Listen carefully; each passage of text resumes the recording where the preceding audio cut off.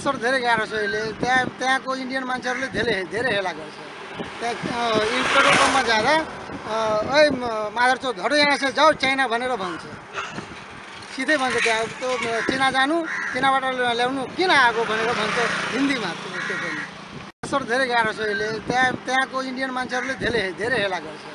त्यहाँ पेट्रोल जाँदा ओ माधर चो धडो यहाँ छ जाऊ चाइना भनेर भन्छ। सिधै भन्छ त्यहाँ त्यो चिना जानु चिनाबाट ल्याउनु किन आएको भनेर भन्छ हिन्दीमा त्यो पनि। हामी हाम्रो हामीहरूको यहाँबाट त्यो हजुरको अडतिस किलोमिटर जति बोर्डर पर्छ जयनगर जयनगरबाट हामीहरू चाहिँ त्यही खाने सामानहरू जस्तो खाने तेल नुन खुर्सानीहरू हुन्छ नि अत्यावश्यक वस्तुहरू त्यो हामीहरू प्रायः जयनगरबाट लिएर आउँछौँ। पच्चिस किलोमिटर। सर हामीहरूलाई मधेसीलाई त पहिलेदेखि हेपेर बस बस्नुभएको त्यो पहाडे खस बाहुनहरूले होइन?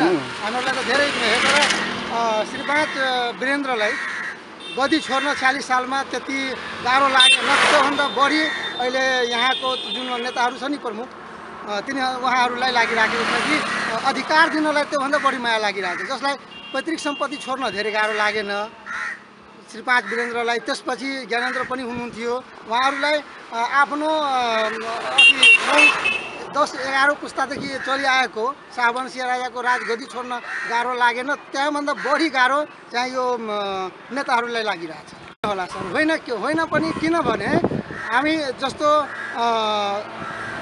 सत्तरीभन्दा पारी उत्तर दक्षिण सिमाना कोरेछ कोसीभन्दा पारी भनेपछि त्यहाँभन्दा पश्चिम आउँदाखेरि यो पूर्व पश्चिम अ, तपाईँको के भन्छ वीरगन्जदेखि अ, कोसी पारीसम्म किन यो पूर्व पश्चिम सिमाना सिमानाको खाका जुन अहिले पनि छ नि सिमानाको त्यो उत्तरदेखि अथि पूर्वदेखि पश्चिम किन कोरिएको छ?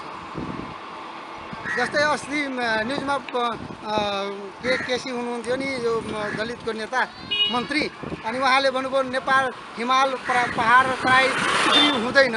भने यो मधेसलाई किन फेरि टुक्राएर यो यस्तो बनाएको छ भने यस्तो बनाएको छ भने योभन्दा पूर्व जाँदा के हुन्थ्यो? सिर सुनसरी मोरङ र झापा।